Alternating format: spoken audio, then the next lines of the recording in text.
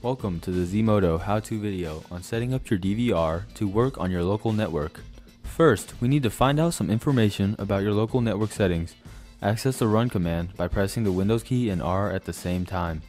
Type in CMD and hit enter. In the next window that comes up, type in ipconfig and hit enter.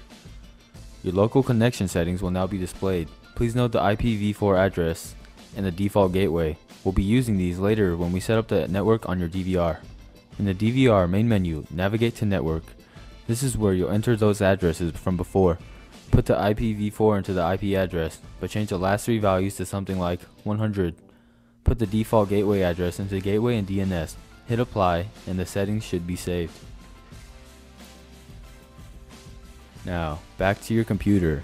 Launch Internet Explorer as administrator. You can do this by right clicking the icon and selecting run as administrator. Type in the IP address you assigned to the DVR in the address bar and hit enter. You will be greeted with your login information.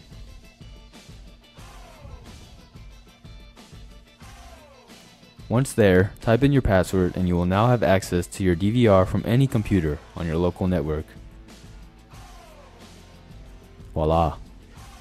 Stay tuned for our guide on port forwarding so you can access your DVR from any web browser in the world.